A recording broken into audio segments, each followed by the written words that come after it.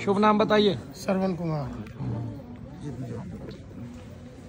थोड़ा और आगे है बेटा ऐसे कौन ले ले फ़ोन इधर मुँह करे नहीं हो गया। बैठ बैठ बैठ हाँ। क्या नाम है आपका? श्रवण कुमार। शरण कुमार जी कहाँ से आए हैं? यूपी आजमगढ़ से। आजमगढ़ से कहाँ रहते हैं आप? यहाँ द्वारका सेक्टर तीन। क्या होता है आपको? बैक पेन है उसमें बैक पेन के लिए डॉक्टर को नहीं दिखाया आपने? दिखाया कौन कौन से डॉक्टर को दिखाया? यहाँ पर मैदानता के डॉक्टर हैं मदानता के डॉक्टर हैं गुड़गांव में कहाँ बैठते हैं? Space hospital. स्पेस हॉस्पिटल में बैठते हैं। क्या नाम है उनका? उनका नाम है डॉक्टर भरत। डॉक्टर भरत। हाँ। आपको क्या बताया डॉक्टर भरत ने? उसमें एम कराया था तो बोले थे कि एल टू और L four L two L four में प्रॉब्लम है। हाँ, तो आपका ऑपरेशन बताया था या ऐसे ही दवाइयों से ना ठीक ना कर रहे बोला कि दवा से तो सही कितने नहीं दिन से बीमार थे अब? मेरे तो हो गया कम से कम पंद्रह साल लेकिन अब ज़्यादा दो साल से काफ़ी दो साल से ज़्यादा था। कभी आराम पड़ा आपको एक दिन के लिए भी ऐसे तो दवा खा लूँ हल्का तो आराम हो जाएगा लेकिन फिर 24 घंटा में वैसी स्थिति आ जाती है। चौबीस घंटा में वैसी स्थिति आ जाएगी लेकिन दवा खाने से चौबीस घंटे तक हल्का होता है या थोड़ी सी देर तक? नहीं 24 घंटा तक आराम रहेगा अगर पेन घंटे तक क्या आराम रहता है? मतलब दर्द में आराम रहता है वैसे फिर स्थिति रात भर सोने के बाद स्थिति वैसी ही आ जाती है। जब आपकी क्या कहते हैं कुपित वायु कड़वापन खाती है तो वो दवाई की कड़वापन सारा खा जाती है। तो जब तक उसके पास कड़वापन है तब तक वो आपको कुछ नहीं कहती है। जैसे ही कड़वापन हटेगा वापिस आपकी कमर में आ जाएगी। ये बात मन, मनु भैया तो जानते हैं डॉक्टर तो इस बात को बारीकी से नहीं जानते हैं। ठीक है मनु भैया तो करके दिखा रहे हैं। आप मुझे बताइए मैंने आपको हथौड़ी मारी है क्या मारा है? जी जी। ये हथौड़ी मारने से दर्द बढ़ने चाहिए थे आपके दर्द बढ़े क्या? नहीं दर्द तो नहीं बढ़ा। कहाँ गया दर्द? इस समय तो खत्म है बिल्कुल। जो बिल्कुल खत्म है कभी ऐसा बिल्कुल खत्म हुआ था दर्द आपका? कभी भी। बिल्कुल खत्म हुए दर्द को कितना साल हो गया? पंद्रह साल से दर्द था टेबलेट ले ली आराम पड़ा हाँ, आराम आपने पड़ा। ये नहीं कहा बिल्कुल खत्म हुआ कभी। नहीं नहीं नहीं, नहीं। हुआ था ना? आज बिल्कुल खत्म है कि नहीं हाँ, है तो बोलो ये कुपित वायु है। कुपित वायु पाँच तरीके से आपके शरीर में आती है। एक नज़र लगने से ठीक है ये दोष है। एक आपको देव दोष लगता है एक किसी का श्राप लगता है कोई बार बार आपको श्राप देता है कहीं बैठ के जिसका आपने कुछ बिगाड़ा है कुछ लेके रखा हुआ है। ठीक है ना? या आप जिसके कर्जदार हैं ये उसका श्राप लगता है। देव दोष ये लगता है किसी देवता का आपने अपराध कर दिया। जैसे भगवान सूर्य को कनेर का पुष्प नहीं चढ़ता अगर कोई इसको कनेर का पुष्प चढ़ाए या ऐसे कई देवता हैं जिनको चढ़ता कुछ है आप चढ़ा देते कुछ है। ये देव अपराध होता है यानी कि देव दोष होता है। और तीसरा मैंने बताया था जो आपको श्राप है, वो श्राप कैसे लगता है कि आप किसी का कुछ लेके देना? और उसके मन में वो वचन रहे बार बार और वो चाहे कि आपसे वसूलना और आप देवे ना, कदापि आप उसके कर्जदार रहें तो उसका श्राप आपको जो उसने दिया है, जो उसने दिया है आपको और आप लौटा नहीं रहे, उसके लिए वो आपको निरंतर बारंबार श्राप देता रहता है। इसलिए कभी किसी के कर्ज में ना रहे। एक, और आपको एक नज़र दोष लगता है कि आप स्मार्ट हैं सुंदर हैं अपना घर ठीक से चला रहे हैं। ये चौथा आपको पितृ दोष लगता है। पांचवा आपको प्रेत दोष लगता है। तो पितृ दोष और प्रेत दोष तकरीबन बराबर है। भगवान भी यही कहते हैं। ठीक है ना? भगवान भी कहते हैं प्रेत दोष और पितृ दोष तकरीबन बराबर है। भगवान कृष्ण गीता में यही कह रहे हैं पितृ दोष और प्रेत दोष अलग नहीं है। क्योंकि पितरों को जिनको शांति मिल जाती है, जो ऊपर के लोकों में चले जाते हैं, जो पितृलोक में चले जाते हैं, वही आपका मूल रूप से पितृ है। और जो संसार में रह जाता है, वो प्रेत योनि में है तो उसको उबारना हमारा काम होता है। ठीक है ना? ये पाँच प्रकार के दोष आपके दर्द को बढ़ाए रखते हैं। आपको आना है, दो से चार बार यही क्रिया करानी है, तब आप बिल्कुल ठीक हो जाएँगे ये बात मैं आपके मुख से ही कहलवा दूँगा। आपने इसके अलावा और कौन से डॉक्टर को दिखाया था? मदानता के भरत जी के अलावा। एक डॉक्टर लोकेश गुप्ता है जनकपुरी डॉक्टर लोकेश गुप्ता जी जनकपुरी में बैठते हैं। उन्होंने आपका ट्रीटमेंट कितने दिन किया और कितने रुपए की दवाई महीने भर आप खा रहे थे? उन्होंने किया तकरीबन पाँच छः महीना तक उनको दिखाया। तो उन्होंने भी एम कराया। हाँ। तो उसमें बोला यही प्रॉब्लम है। फिर मैंने एम्स में गया था। हाँ। ऑपरेशन सबने बताया कि एक नहीं ये एम्स में तो उन्होंने बोला डॉक्टर भरत गुलेरिया साहब भी थे हम किसी के लिंक से गए थे।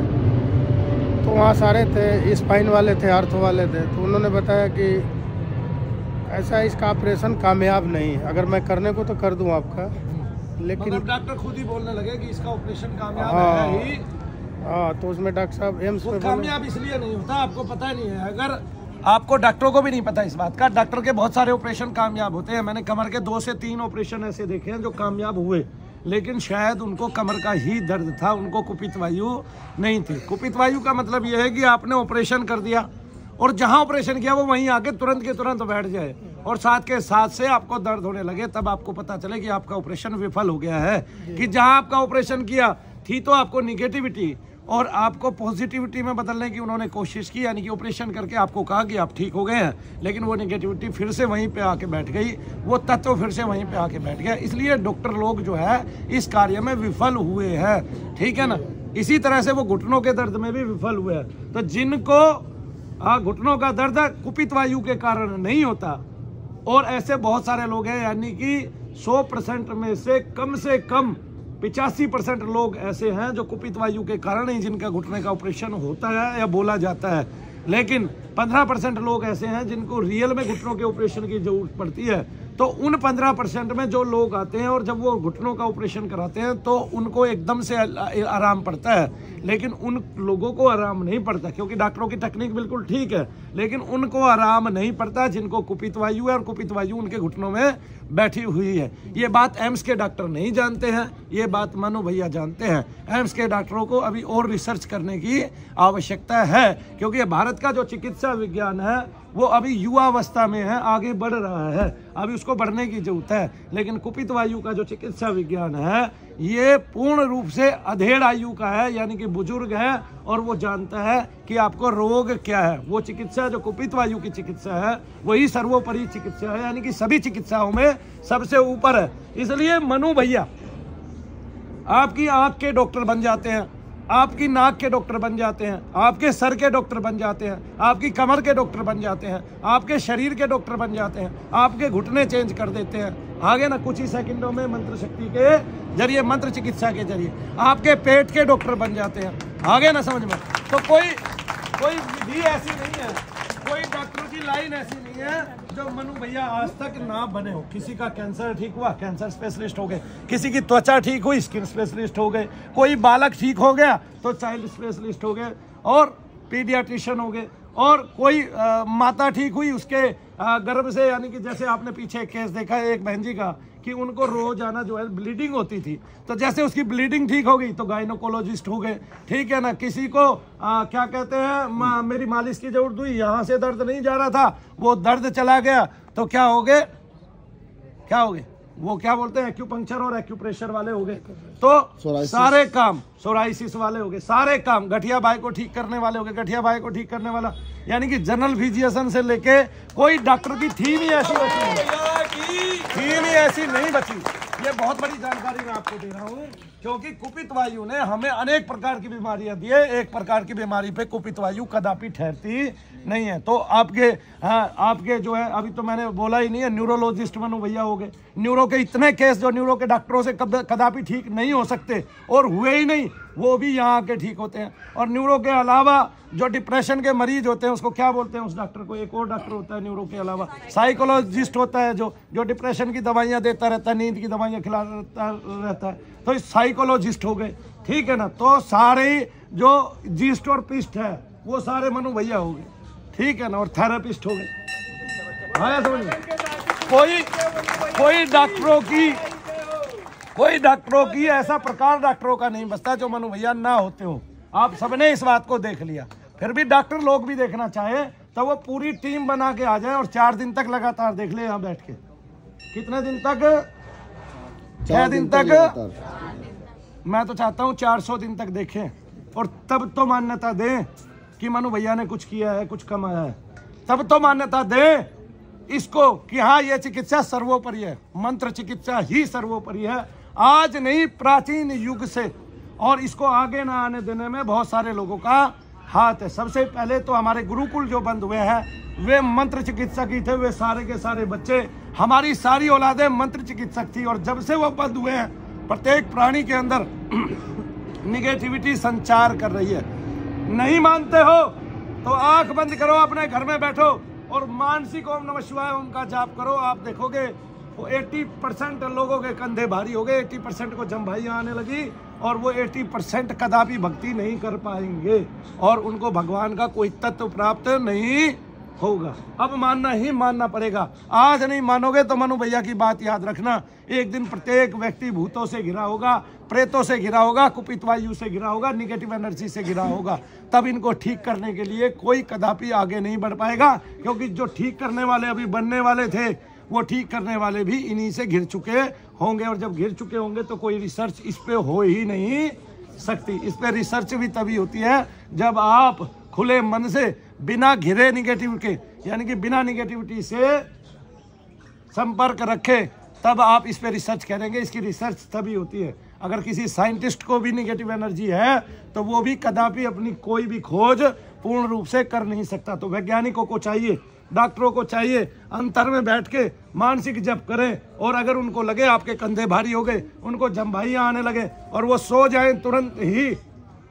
तो समझो गड़बड़ है। अभी आप पूर्ण रूप से अपने ही डॉक्टर नहीं हो तो दूसरे के डॉक्टर क्या बनोगे? बोलो शंकर भगवान शनिदेव महाराज जय। और और एक बात बता रहा हूँ भारत में जितने भी डॉक्टर हैं इनमें से 30 परसेंट डॉक्टर निगेटिव एनर्जी से घिरे हुए हैं। लिख के देता हूँ लिख के साइन करके देता हूँ वरना भारत के सारे डॉक्टर आ जाए लाइन से 30 परसेंट निकाल दूँगा। हर सौ में से 30 डॉक्टर ऐसे निकाल दूँगा जिनको निगेटिव एनर्जी है कुपित वायु है, जिनको श्राप लगा हुआ है, जिनको नज़र दोष है, जिनको देव दोष है, और जिनको कौन सा दोष है? पितृ दोष है और जिनको प्रेत दोष है। तब समझ में आ जाएगा भारत के सारे चिकित्सकों के और मनोचिकित्सकों के कि तुम ही धसे पड़े हो, दूसरे को क्या ठीक करोगे? वरना आए तो लाइन लगा के देख ले। सबके सामने कर दूँगा भारत का प्रधानमंत्री भी साथ में आ जाए। मोदी जी भी साथ में आ जाए, बोले, मैं खड़ा हूँ भाई, दिखा दे करके, हम कल से मान्यता दे देंगे। मैं आज से तैयार हूँ, आज से तैयार हूँ। बोलो, शंकर भगवान, क्योंकि तो मुझे पता है कि ये सारे के सारे दुखी है। एक नहीं, मैंने बहुत, अभी भी एक डॉक्टर साहिब आती है, उन्होंने मान लिया है कि उनको निगेटिव एनर्जी ने बहुत दिन तक परेशान रखा। और वो एक ही बार के मेरे तेल मर्दन से काफ़ी हद तक ठीक हो गई है। लेकिन आज तक मनु भैया ने कम से कम आठ डॉक्टरों को ठीक किया है। किसको? आठ डॉक्टरों को। कोई विधा ऐसी नहीं है जो डॉक्टरों को भी ठीक करे। एक कुपित वायु ऐसी है निगेटिव एनर्जी ऐसी है, जिसको दूर करना कोई मामूली खेल नहीं रह गया है। और ये इस गहराई से अंदर तक धस चुकी है कि अगर हम आज अपना इलाज नहीं कराते तो कल तक हमारे बच्चों में फैल जाती है। इसका इलाज ज़रूरी है और समय पे इलाज ज़रूरी है। इसलिए एक इलाज तो इसका सर्वोपरि घर पे करो प्रथम। भगवान का नाम लेना सीखो, भगवान का नाम लो हर हाल में छोड़ दो सारी दुनियादारी को। कोई गुरु नहीं है। भगवान बृहस्पति को ही अपना गुरु बना लेना। जो देवताओं के गुरु है, वही तुम्हारे गुरु है। संसार में किसी मानव का क्या नहीं करना, यकीन नहीं करना। क्योंकि वे केवल आपको लूटने आए हैं। उनको आपका तन, मन, धन चाहिए। 25 जनवरी से मनु भैया ने ऐलान कर दिया है कि केवल एक रुपया और चवन्नी लेके जो आएगा, उसी का इलाज शनि धाम में होगा। परफेक्ट रूप से। अब हिंदुस्तान में वो सवा रुपया ढूंढा जाएगा जो माताओं बहनों ने कदापि अपने बच्चों के ऊपर से वार के देवताओं के लिए रखा था। ढूंढ लो चवन्निया और आ जाना मनु भैया के पास इलाज करवाने के लिए। अगर आपके घर में छह सदस्य हैं तो छह टाइम आपको सवा सवा रुपया देना पड़ेगा। मनु भैया खुद अपने हाथ से उतारा करेंगे और चाहेंगे कि आपकी निगेटिविटी धूल धूसरित हो जाए, ज़मीन में धस जाए, आपके शत्रु का नाश हो जाए, आपके शत्रु का मर्दन हो जाए। और एक बात और, दुनिया समझती है कि देवता नहीं होते। हमने तो केवल दीप दान से दिखा दिया कि दुनिया में जो देवता होते हैं, वही सब कुछ करते हैं। आप तो केवल यंत्र मात्र हैं। केवल आपके करने से कुछ नहीं होता। जब तांत्रिक एक छोटे से देवता से, जो गली कूचे का देवता है, जो एक जंगल का देवता है, उससे इतने काम करा लेता है, जो निम्न स्तर का देवता है, जिसने कभी अच्छा किया ही नहीं, जो बुरा खाता है और बुरा ही काम करता है। तो जब वो तांत्रिक इतने बड़े बड़े काम करा लेते हैं तो हमारे तो देवता और भगवान जो है वो बड़ा काम करने के लिए सदैव हमारे लिए तत्पर है। बोलो, शनिदेव महाराज। सभी प्रकार की जानकारियाँ जुटाकर और सूक्ष्म से सूक्ष्म विद्या लेकर मनु भैया आपके साथ हैं सदैव। आपकी वृद्धि हो, आपके कुल की वृद्धि हो। शनिदेव महाराज, न्याय करें आप सबके साथ। और आने वाला जो कलयुग का समय है, एको देवा कलो शनि ये शनिदेव महाराज का समय है। और हम सब शनिदेव महाराज से प्रार्थना करेंगे कि कलयुग को हमारे से, हमारे कुल से, हमारे बच्चों से सदा दूर रखे। हमारे बच्चों की वृद्धि हो, हमारे कुल की वृद्धि हो और हमारे साथ न्याय होवे। बोलिए, न्यायाधीश श्री शनिदेव महाराज। ज़ोर से बोले भाई, जयकारा ज़ोर से बोलो भाई। बोलो शनिदेव महाराज की। बोलो परम पूज्य मनु भैया जी की। बोलो परम पूज्य गुरु माता जी की। बोलो सांचे दरबार की। अगला आदमी